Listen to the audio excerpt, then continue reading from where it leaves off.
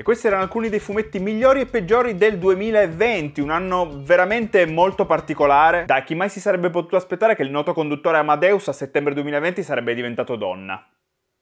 e anche una donna bellissima tra l'altro. Ma arriviamo alla fine di questo video, al momento clou, ovvero al fumetto migliore che si è concluso nel 2020. Secondo me è un fumetto che mi ha lasciato a bocca aperta ed è assolutamente discesa all'inferno di Gart fottuto genio Ennis e del croato Goran Suzuka. Completo in due cartonati pubblicato dalla Salda Press, cartonati a 19,90€ l'uno, tutto hopla a colori. Alcuni agenti dell'FBI sono eroici cacciatori di serial killer, altri sono razionali e tenaci detective dell'occulto, ma non Shaw e McGregor, i protagonisti di Discesa all'inferno. Shaw è esperta e disincantata, ha un esaurimento nervoso ed è tormentata dal suo passato. McGregor è ancora un idealista, anche se il mondo sembra impegnarsi al massimo per fargli cambiare idea dovranno indagare sulla scomparsa di due loro colleghi in un magazzino di Long Beach.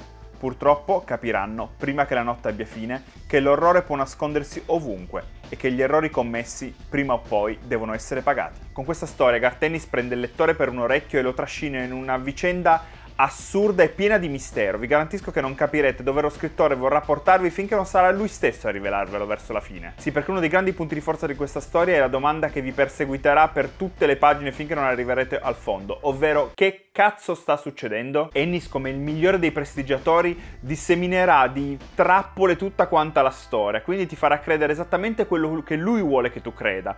Quando a un certo punto capire, cercherete di capire cosa sta accadendo e penserete di aver capito, in realtà Ennis cambierà le carte in tavola e vi porterà su un'altra strada. E solamente quando avrete finito il volume riuscirete a capire che in realtà Ennis la soluzione ve l'aveva data e nascosta tra le pagine del volume, voi l'avevate letta ma probabilmente non l'avevate capita, almeno io vi garantisco che non l'avevo capita e quando l'ho capita sono rimasto a bocca aperta. Altro punto di forza di quest'opera è la tensione è un'opera piena di dialoghi, quindi non vi aspettate grandi scene d'azione perché in realtà ci sono pochissime scene d'azione, ci sono molti molti molti dialoghi, ma nonostante questo Ennis riesce a mantenere perfettamente la tensione pagina dopo pagina e vi assicuro che quando avrete finito il primo volume non riuscirete a resistere, vorrete assolutamente sapere dove continuerà questa storia e dove diavolo starà andando a parare. La tensione è altissima, appunto, pagina dopo pagina e il ritmo non mancherà. Ma più nel concreto di cosa parla la trama? Parla appunto di questi due agenti, Saw e McGregor, che entreranno in un magazzino per cercare due loro colleghi. In questo magazzino capiterà di tutto e di più,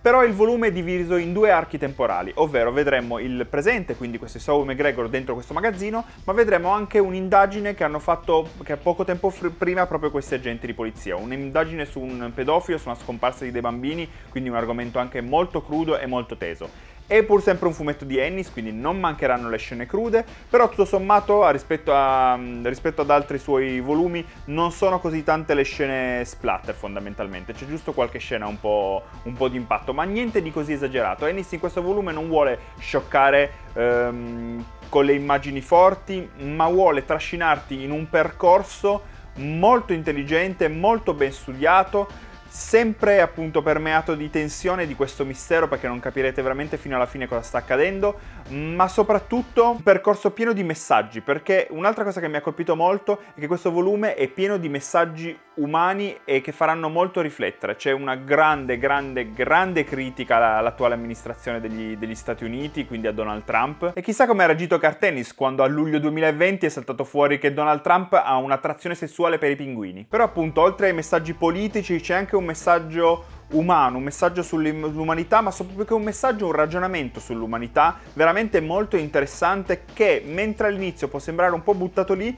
dopo acquisirà tutto quanto un senso con l'andare avanti della storia. I disegni non mi sono affatto dispiaciuti, non c'è nulla che mi ha fatto particolarmente urlare al miracolo, ma secondo me fa perfettamente il suo lavoro. Quindi appunto, quando, quando c'è da, da, esagerare, tra virgolette, quindi quando c'è da rappresentare magari qualcosa di mastodontico, l'autore, il disegnatore, Goran, lo fa assolutamente senza risparmiare particolari, ma quando c'è da fare delle scene anche un pochino più semplici, perché già la trama è abbastanza intricata di suo, le scene appunto rimangono chiare, limpide e assolutamente non confuse, perché essendo un volume effettivamente con una trama da seguire molto bene, se ci fossero stati anche dei disegni confusi sarebbe diventato veramente complicato e forse pesante seguire la trama, invece i disegni secondo me accompagnano perfettamente il tipo di storia. Ma quindi possiamo definire questa storia perfetta? Mm, no, in realtà anche in questa storia c'è qualche piccola criticità, una cosa che mi ha dato un pochino noia sono alcuni dialoghi troncati, ovvero Gartenis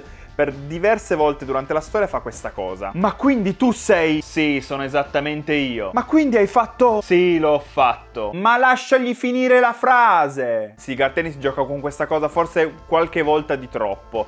Risulta un po' esagerato quando un personaggio sta praticamente rivelando quasi tutto che l'altro personaggio lo interrompa per, per non fargli continuare la frase.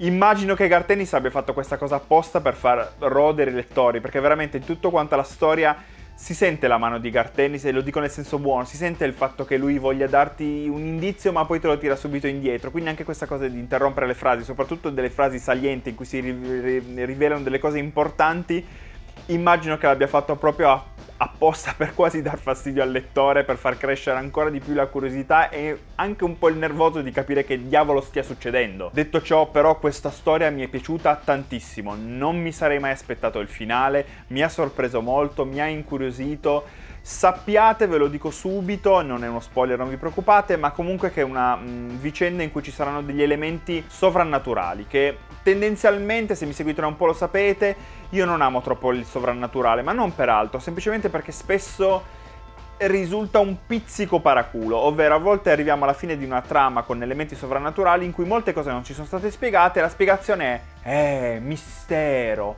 Eh sì, mistero però che paraculata. Invece qui no, qui ci viene spiegato praticamente tutto. Questo l'ho apprezzato un sacco. Ho apprezzato il fatto che Ennis abbia messo tanta carne al fuoco, ma sia stato in grado di gestirla tutta quanta. Quindi questo l'ho apprezzato veramente tantissimo a memoria non lascia nulla in sospeso e c'è anche un bel finale molto molto molto interessante. Quindi sì ragazzi, questa secondo me è la storia più bella che si è conclusa nel 2020. Io vi ringrazio per aver guardato questo video, ah e vi ringrazio anche per il fatto di essere arrivati a fine 2020 con 10.000 iscritti, grazie mille. Vi invito qualora voleste ad iscrivervi a questo canale, trovate in descrizione tutti quanti i link per i miei social, vi ringrazio per aver visto questo video di fine 2020 sulle letture migliori e peggiori di questo assurdo anno che è appena passato passato e noi ci vediamo nel 2021.